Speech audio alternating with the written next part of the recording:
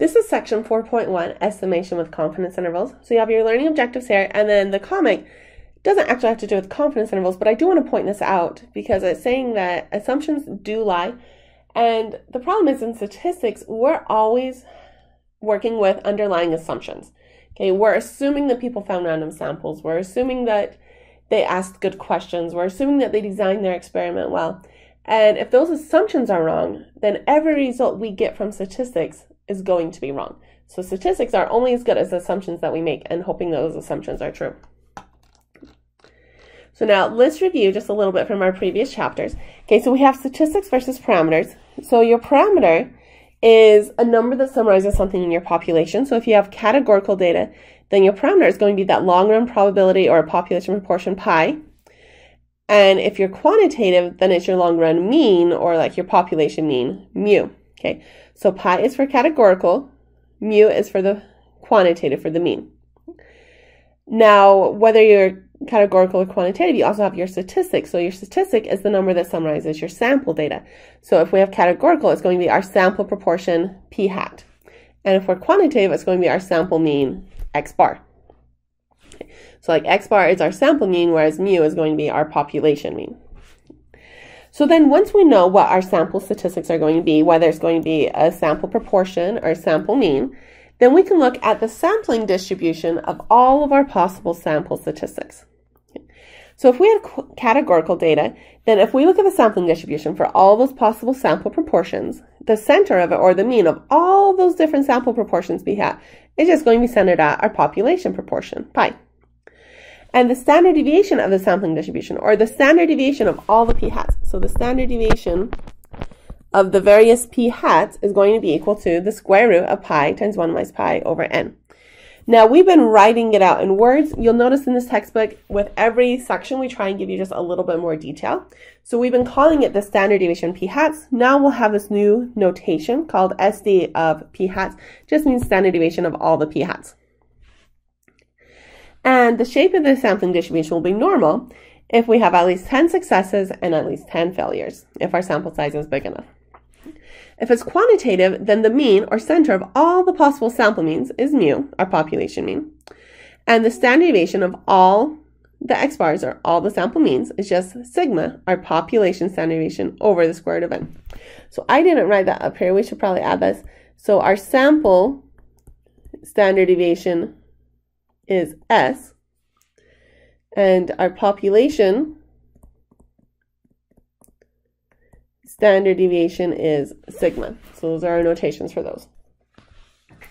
So sigma is our population standard deviation. So we'll do sigma over square root of n. That's the standard deviation of all of our different sample means. Or if we're going to estimate it, we change it to now say it's the standard error, and we do s over the square root of n. And we know that our shape will be normal. The shape of all the possible sample means is normal if the population is normal or the sample size is large enough. And really, that depends on what your population looks like. Usually we set a sample size of at least 30. It's going to be good for anything.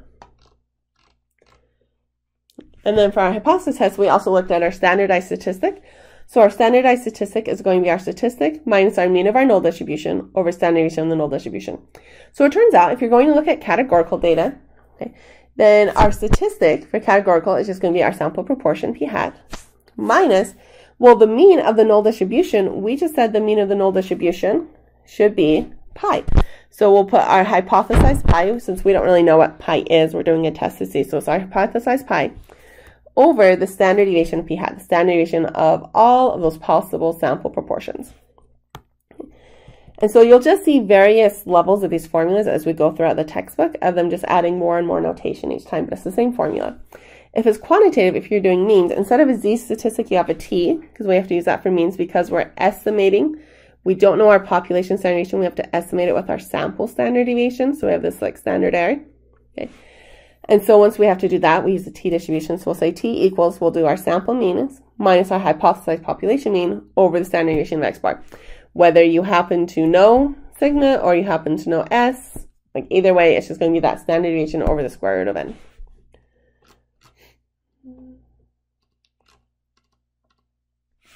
Okay, today we're going to talk about significance level.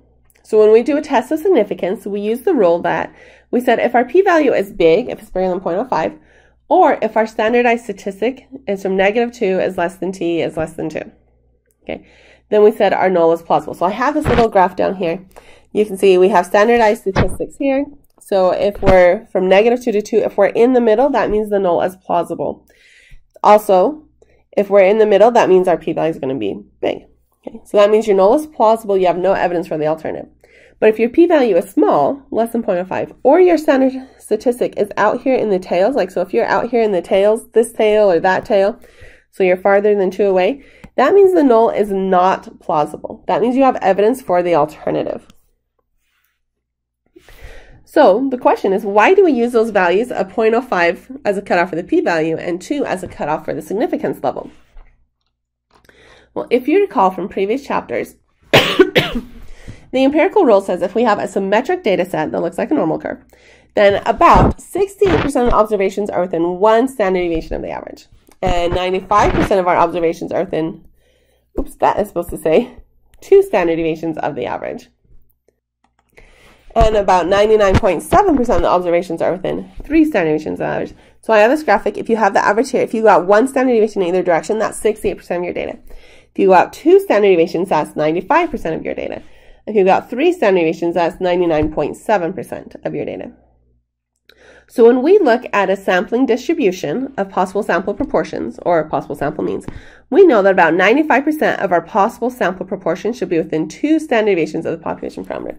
Because if we're looking at sample proportions, we'd be centered at pi, the population parameter. If we go out two standard deviations, that should be about 95% of all of our values of p hat. And we decided before that something is not plausible if our data would happen less than 5% of the time. So 5% of the time in the tails lines up with two standard deviations. So that lines up with like two as your standardized statistic. So this would be like z equals 2, and this would be z equals negative 2 for our standardized statistics. But what if we wanted to use a different cutoff for our p-value in 0.05? So your significance level is what we call the cutoff for how small our p-value needs to be to reject the null hypothesis. So we've been using 0.05 for this entire class so far, but there are other possible significance levels you could do. So you could do 0.10 for like some social studies, journals, things where they're not so concerned, and also your data is really messy. It's hard to get a really small p-value. Um, 0.05 works for almost everything you're going to do.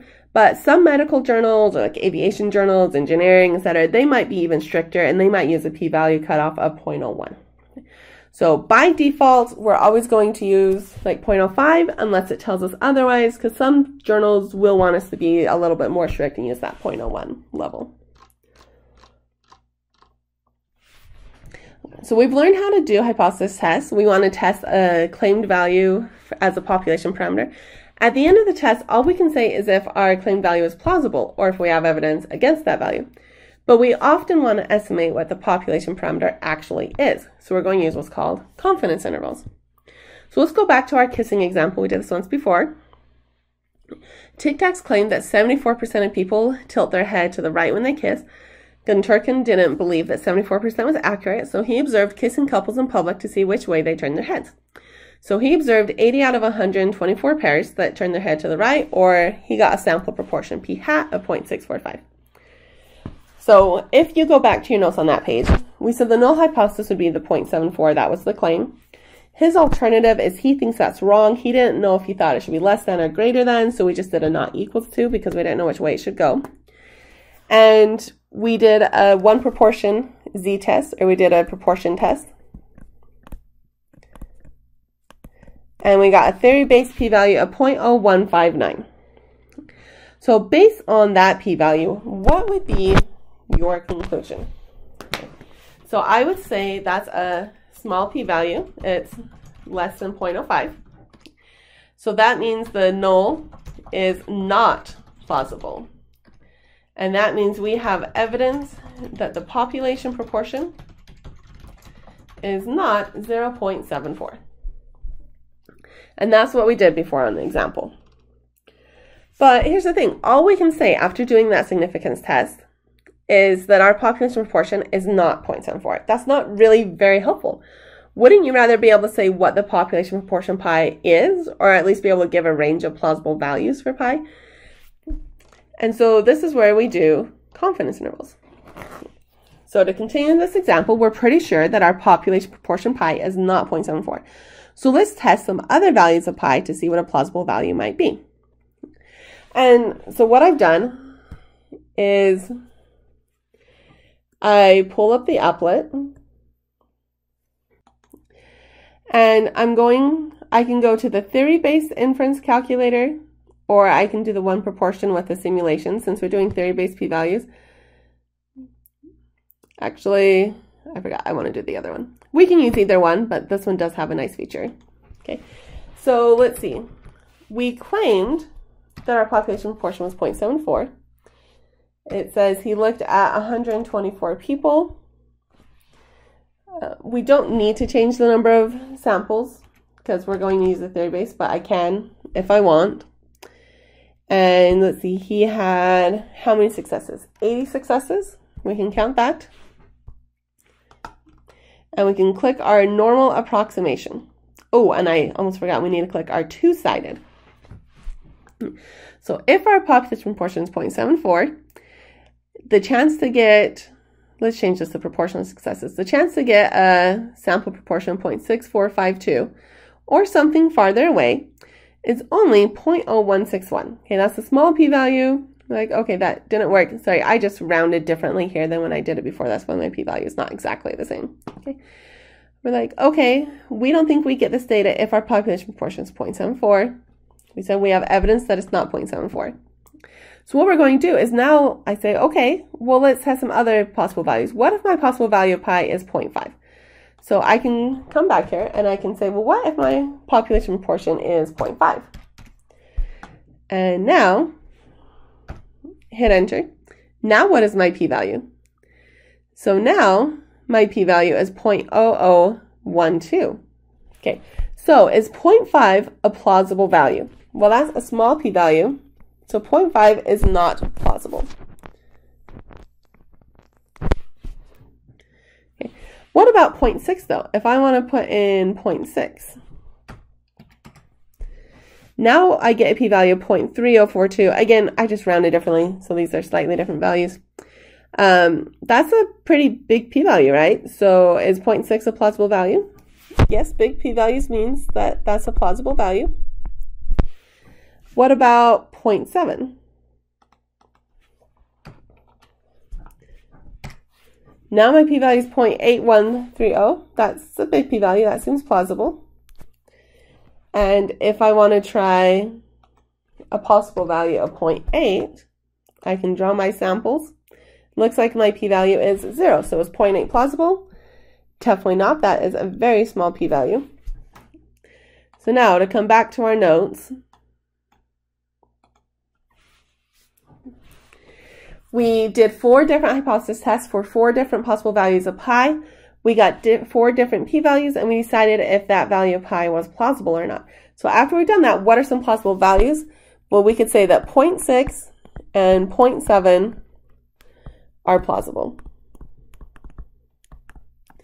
Okay, so we're doing a little bit better. We can say 0.74 is not plausible, but 0.6 and 0.7 are plausible, so we have a little bit more useful information. But what if we want to fine tune our results even more? So remember, we're going to say a claimed value of pi is plausible if our p-value is greater than 0.05 or our standardized statistic is from negative 2 to 2. So really we're looking for values that are in that middle of the curve. That's how we know that pi is plausible. So we have to go through. I put in, I went by increments of 0.01. So every value from 0.5 all the way to 0.8, uh, going by increments of 0.1 for all the possible values of pi. And I went ahead and found the theory-based p-values and standardized statistics for you for most of them because otherwise this is going to take us a really long time. Okay. But this is one way that you can find confidence intervals. Luckily, it's not the only way you can find confidence intervals. We're going to teach you another way later, but this one helps us develop our logic. So again, if I put in 0.5 and I draw my samples, I'm going to change this to 0.645 as I think I rounded it before just so that everything matches up. So when I put in 0.5 as my hypothesized value. I hit enter. Okay. And now my p-value is 0.0012. And my standardized statistic z is 3.23. Okay, that's a small p-value. My standardized statistic is big, it's out in the tails. So that is not a plausible value. So let's try 0.51. So now I can tell you that my p-value is 0.0026 and my standardized statistic is 3.01. So again, that's a small p-value. 3.01 is a standardized statistic. That's far out in the tails, so that value is not plausible. And I just keep doing this each time, 0.52, enter. So it looks like my p-value is 0.0053, and my standardized statistic is 2.79. So still small p-value, still far on the tails, so not plausible. Now here's one of the things I wanted to show you on this applet. I can keep hitting them in individually. Okay. Or I can click on these show sliders and I can change the success of the probability of pi. So I'm at 0.52. If I click on this, I can drag this to like point. Five, sorry, it won't work with my mouse. I can drag it. So, okay, I'm at 0.52, 0.53. Doesn't always work super well. Sometimes you can use your arrow key to fine tune it. So when I'm at 0.53 as my possible probability of success, then my p-value is 0.0103 and my standardized statistic is 2.57. So that's still a small p-value, smaller than 0.05. I'm still out there in the tails with my standardized statistics, so not plausible. Coming back over here, I can change my probability of success to 0.54. And so now my p-value is 0.0190. My standardized statistic is 2.35, and it's still not plausible. But this is nice because I can just kind of drag it along. So what about 0.55? Oh, my p-value you can see is getting a little bit bigger. If I drag it out, like my p-value is getting bigger, and you can kind of drag it along and see what happens. Not that you have to, you can just list everything out like this. So those are some of our p-values and standardized statistics. And then we can just go through. So like at 0.55, we're at 0.035, that's still a small p-value. 2.13, that's still out in the tail, so that one is still not plausible. Okay, what about a p-value of 0.0565 though? That's bigger than 0.05. And 1.91, oh, we're no longer out in the tails. So this one is plausible, and I can just go through quickly. Big p-value, big, big, big, big, big, big, big, big. So all of these are yes. All of those are big p-values. Let's see, big p-value, standardized statistic, that's not out in the tails. So that value is plausible. Let's see, big p-value, big, big, big, big, big. What about this one? 0.069, that's still technically big p-value. So all of these are yeses. But right here, 0.033, that's a small p-value. 2.13, that's out far in the tails. So this one is no longer plausible. And then it, we just get smaller and smaller and smaller for our p-value. So all of these are going to be no. So you have to do that for lots of different possible values of pi. Definitely is going to take a really long time. Not a fun way to do it. I will say on the homework, I went through and I put in a lot of the different p-values for you just to save you time. So you only have to find a couple by hand for each problem. Okay, so now that we've done all this, what are some possible plausible values of pi? Well, let's see. Let me erase the circles that we already have so we don't confuse ourselves. What are the ones where we said yes? We said yes for everything from here. Those all had yeses. What else was yes? Everything here. So I could say pi is plausible. And instead of writing all those numbers, I could say from 0.56 to 0.72. So anything between 0.56 and 0.72 is a plausible value of pi. And what significance level were we using? We used the cutoff of 0.05.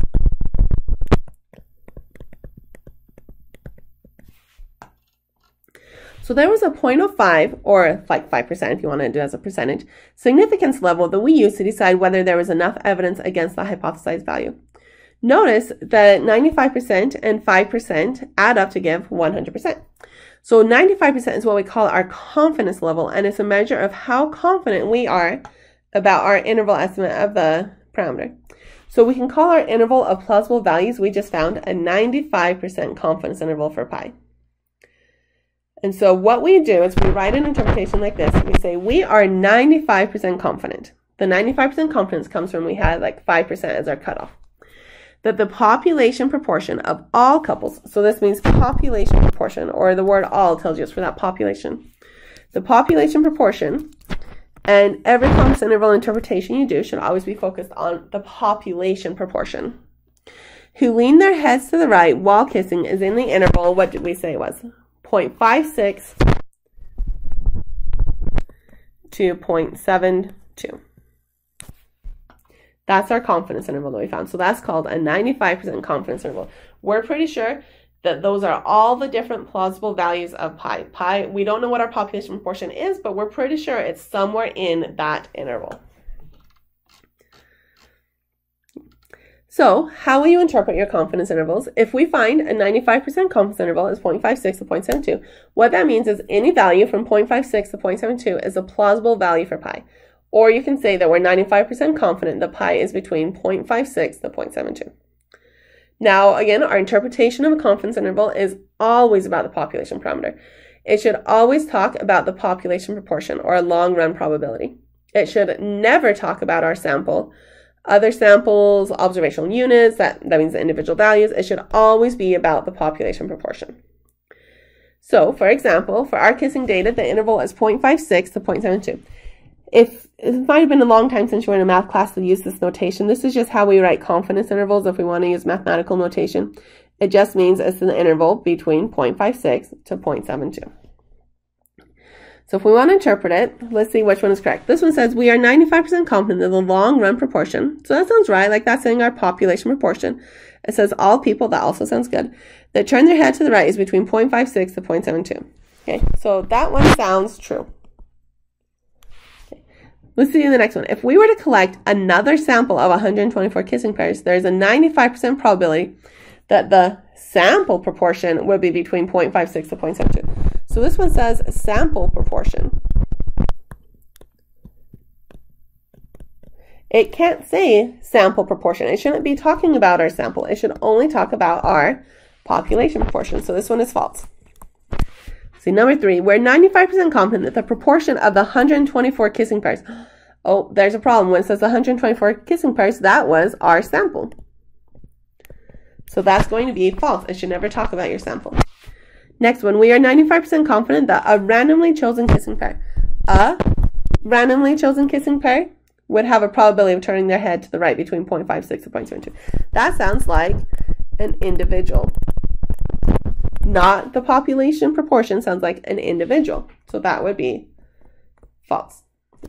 This might seem like a little thing, but you'll find a lot of questions on your homework, and the tests are based on interpreting confidence intervals.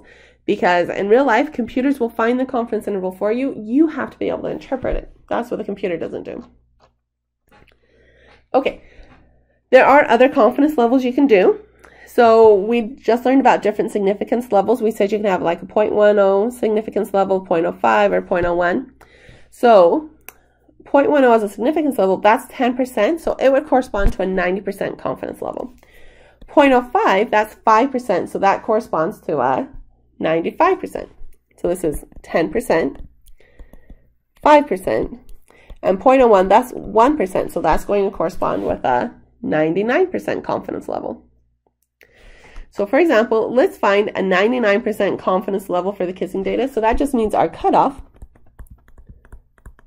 Well, if we want 99%, our cutoff is going to be 1% or 0.01 because you just subtract it from 100. Okay. So I've gone through for you, and these are all the p-values we found previously. I just filled them in here, and we just need to decide, is it plausible at a 0.01 cutoff level? So we're going to look 0.001, oh, that's smaller than our cutoff, so not plausible. 0.026, that's still smaller than our cutoff, so no. 0.05, that's still small. What about this one though? 0.0103, that's bigger than a cutoff of 0.01. So is it plausible? Yes. And then 0.019, 0.03, 0.05, all of these are just getting bigger. So all of these are just going to be, yes, they're all going to be big p-values. Let's see, checking over here, 0.7244, that's still a big p-value. It's bigger than 0.01, so it is still plausible. Let's see, big, big, big, big, big. 0.06, we're getting smaller, but we're still bigger than 0.01. 0.03, that's still big. 0.0159, that's still bigger than 0.01, so we're still plausible, so we'll say yes for all of those. What about 0.0069 though? That's now smaller than our cutoff, so it is no longer plausible, and then just gets smaller and smaller, so none of those are plausible. So what are our plausible values? Or plausible at 0.01 cutoff? What's plausible? We said the first plausible one is at 0.53. And let's see, where's our next one? The last plausible value was 0.74. So we can say something like, we are 99% confident that what? That the population proportion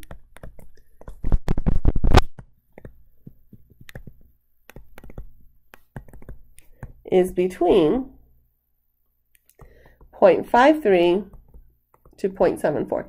You'll notice that this is a wider confidence interval than we had before. Before we were at 0.56 to 0.72. This is wider. We went farther out. And the reason why is to be more confident, you just make your interval wider. Then you can be more confident that you found the true value. So that means we don't know for sure what our population proportion is, but we're 99% confident it's between those two numbers. Well, what if we want to find a 90% confidence level for the kissing data? For 90%, well, that means your cutoff is at 10% or 0.10. So as I go through I'm just going to look for what's the value or look at every p-value to see if it's bigger or less than 0.10. So it looks like my cutoff is right here. So 0.145, that's bigger. This one would be plausible. So plausible at a 0.10 level. But 0.09, that's smaller, so it would be no. So all of these are no. And then all of these p-values would be big.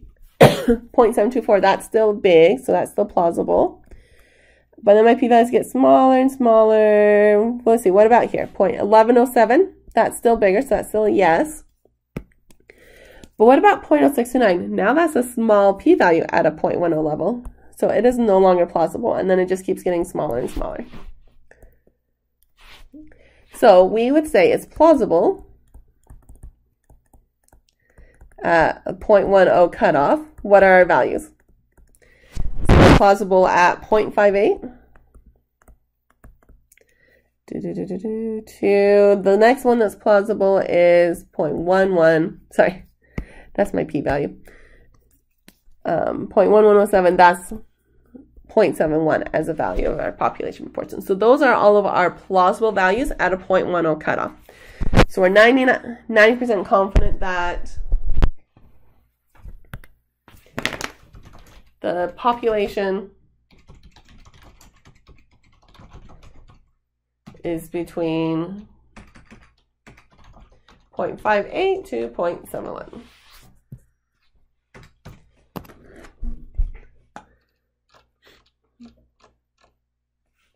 Okay, so next, tests of significance versus confidence intervals. So it turns out confidence intervals are so closely linked to tests of significance that we can use confidence intervals to do our tests of significance and vice versa.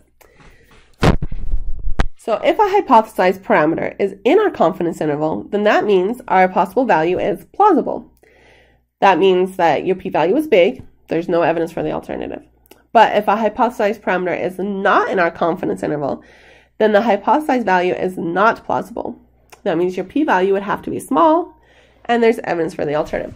Now, this is all just based on what we've been doing, but instead of saying, let's test every single value, we're like, oh, I could just look at like 0.55. If it's in the interval, oh, it's not in the interval, I can tell you it was a small p-value. Or if I want to test like 0.069, here, I can say, okay, Well, 0.69 is in the interval. That means it must have had a big p-value, which it did. It was at 0.2786. Okay, um, I had a typo, so I'm restarting the video to this point. That's why some of the work is already here. So example 122, suppose a machine is used to fill bags with coffee and each bag is one kilogram. A randomly selected sample of 30 bags has a mean weight of 1.01 kilograms and a standard deviation of, this is the thing I changed, of 0.025 kilograms. Perform a two-tailed test for the significance level of 0.01 and decide if the machine needs to be adjusted. So let's go through and first write down the information they told me. So a sample size of 30, I'd write that down as n equals 30. We have uh, our sample has a mean weight of 1.01, so my sample mean equals 1.01, and my sample standard deviation is 0.025. Okay, we want to do a two-tailed test. We're going to use a cutoff level of 0.01 and decide if the machine needs to be adjusted. Okay, our null hypothesis would be that our machine is working. Okay, so always status quo, nothing interesting. That mean like your population average is one kilogram. If I want to use symbols, I could say H with a zero and I'd say my population mean mu equals one kilogram. And the alternative then is that the machine needs to be fixed, it needs to be adjusted. My population mean is not one kilogram, and its symbols would be the H with the A. Then my population mean mu is not equal to one kilogram. We haven't said if we think it's under or if we think it's over. Either way, we're going to have issues, right? We just want to see if it's different from that. Um, can we use a theory-based approach? Well, for sample means, you either need to have a normal population, or a sample size of at least 20 and symmetric data, or a sample size of 30 will work for any shape of data. We have a sample size of 30, so we're good to go. So if you go to the next page, I wrote down all the information again for us, just so that we could see it to keep working. So what we're going to do is we're going to go to the theory-based applet to actually find a p-value. So we'll use our theory-based applet.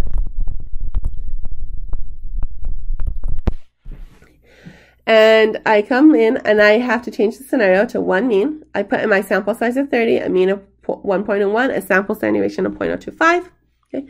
You have to click on test of significance. You have to say that my population mean mu equals 1. That's what you want to compare it to because it always just starts at 0. And you just click this button until you get to a not equals 2. You'll see the mean and SD. Those are the mean and SD of the possible sample means, the sampling distribution. And let's see, it tells you a standardized statistic is 2.19. So if I know that t equals 2.19, and here's my levels, or my cutoffs are negative 2 and 2 for our standardized statistic. So 2.19 would be out here in the tails, so I could say not plausible. At least at a 0.05 level, because 2 and negative 2 corresponds to that 0.05 level. And our p-value right here is 0.0366.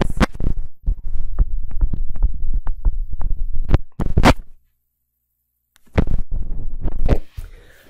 So now I can tell you my p-value is 0.0366. So let's do a conclusion at 0.05 and 0.01 just for practice, even though it said do it at a 0.01 level. So for a 0.05 level, 0.0366, that is smaller. So this is a small p-value. So I would say my null is not plausible.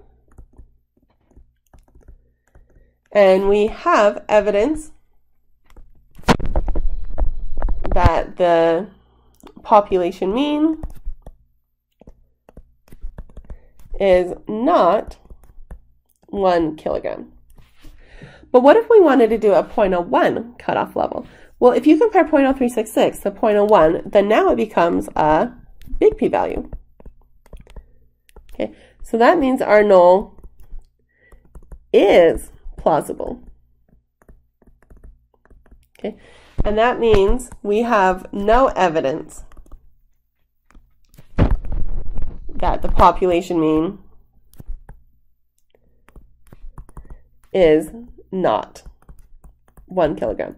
I know it seems like a double negative, but remember in hypothesis tests, we always write our interpretation in terms of the alternative because that's what we were hoping to show. So in other words, we have no evidence that the machine needs to be fixed. This is one reason why people would use a different significance level is if you think about it, if you're in a factory to shut down the machine to fix it's going to be costing you sometimes thousands of dollars an hour. Okay. So you don't really want to shut it down unless you have a lot of evidence that it's not working. Now let's see. What confidence level would correspond with a 0.01 significance level? Let's see. So if you have a 0.01 significance level, 0.01 is 10%. Sorry, it's not 10%. 0.01 is 1%. So 99% confidence. So with that in mind, now without finding the interval, is one kilogram going to be in the 95% confidence interval? What about the 99% confidence interval? Well, 95% corresponds to 5% cutoff or 0.05. So come back up to 0.05. Did we say that it was plausible? So at 0.05, my null is not plausible. Okay, so for 95% confidence, we said that one kilogram, one kilogram, we said is not plausible. It had a big p-value. Sorry, it had a small p-value.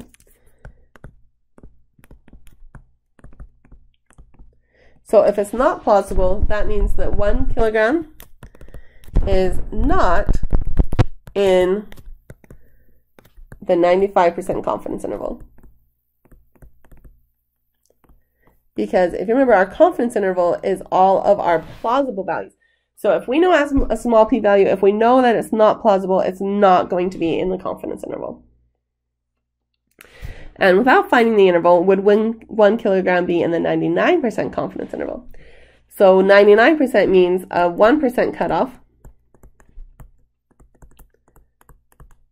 or 0.01. Okay, so coming up here, the conclusion of the 0.01, it had a big p-value. We said the null is plausible. So at 99%, that means one kilogram is plausible. So that means one kilogram is in the 99% confidence interval.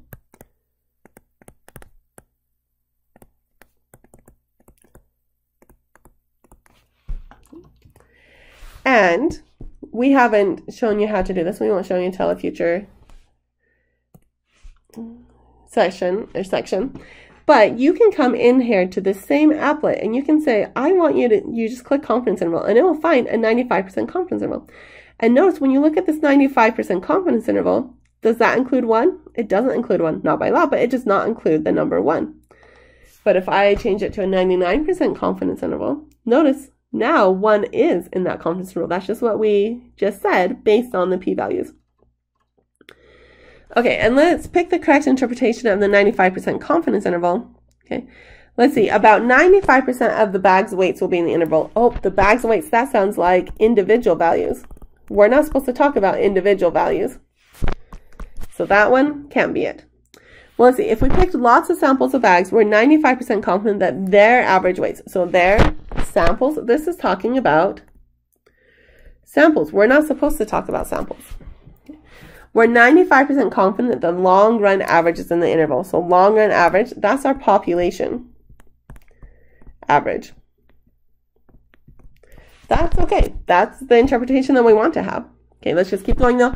In 95% of all of the samples, their averages will be in the interval. We're not supposed to talk about samples. Let's see. If we randomly pick another sample, their average will be in the interval. No, still not supposed to talk about samples. Okay, so it's not going to be that answer. It would have to be C. And finally, a certain school takes a random sample of 100 students and finds that the sample average cost of books is 320 and an SD of 90. I found the 95% confidence interval for the mean cost of all the students, so that's like our population mean, is 302 to $337. The 99% confidence interval for the mean cost of books for all the students at school is 296 to 343. So I found the two confidence intervals for you. And now I want you to consider some different hypothesis tests. So if I want to test that my population mean is 305 or different from 305, what can you tell me about the p-value? Well, let's see. Is 305 in these intervals? Maybe we should draw it out. So like 95% goes from 302.1 to 337.9. And as you get better at this, you don't always have to draw it out, but it can just be helpful. 99% goes from 296.4 to 343.6. Okay, so now let's figure out where does 305 fit in these ranges? Is it in these intervals? So 305, that would be right here. Well, that means 305 is plausible at 95% and it's also plausible at 99%. So it is plausible at a 5% and 1%. Okay, well, if it's plausible, I think I don't have a lot of room here. So it's plausible and if it's plausible, that means big p-values. So it's bigger than, so 95% goes to 5% or 0.05, and 99% goes to 1% or 0.01. Okay, so if it's plausible, that means it's going to be bigger than, it's plausible for both of them, so it's bigger than 5% or 0.05.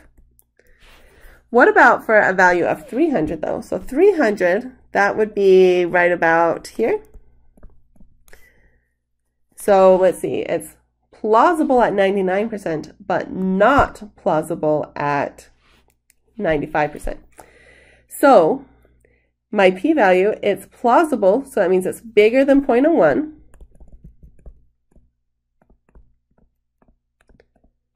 Okay, but it's not plausible at the 5% level, so that means it has to be smaller than